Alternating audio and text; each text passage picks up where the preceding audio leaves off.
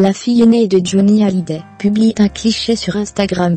Dans un lieu chargé de symbolique, que Laura Smet a décidé de célébrer son 35e anniversaire.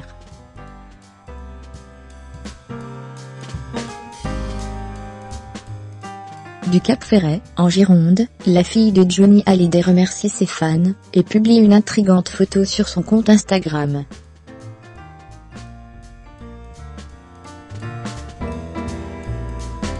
Une année de plus. Ce 15 novembre, Laura Smet a célébré son 35e anniversaire. Loin de l'agitation parisienne, la fille de Johnny Hallyday est partie se ressourcer au Cap Ferret, en Gironde, pour cette date importante.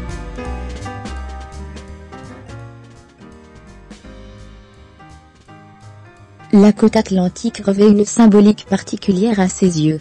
C'est là-bas, enfant, que Laura passait ses vacances en compagnie de sa mère, Nathalie Baye.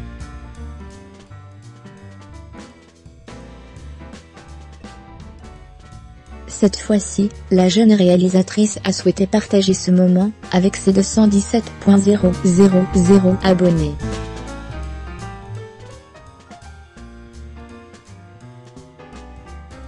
Sur Instagram, elle a publié la photo d'un chien, debout sur la plage, fixant le large et l'horizon.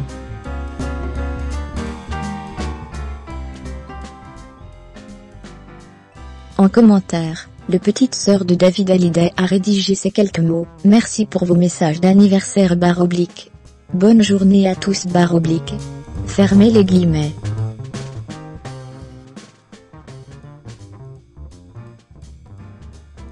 Laura Smay a habitué son public à être en temps normal plus expressive dans ses publications.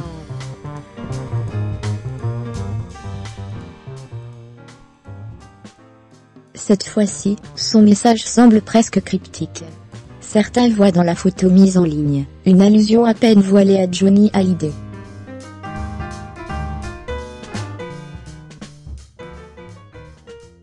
Ce 35e anniversaire est en effet le premier que la jeune femme célèbre depuis la disparition de son père.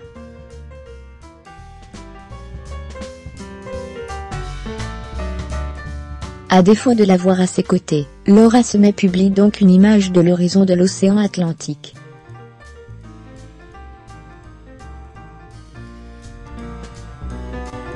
De l'autre côté de cette étendue d'eau se trouve la petite île de Saint-Barthélemy, celle-là même où repose le taulier depuis décembre dernier.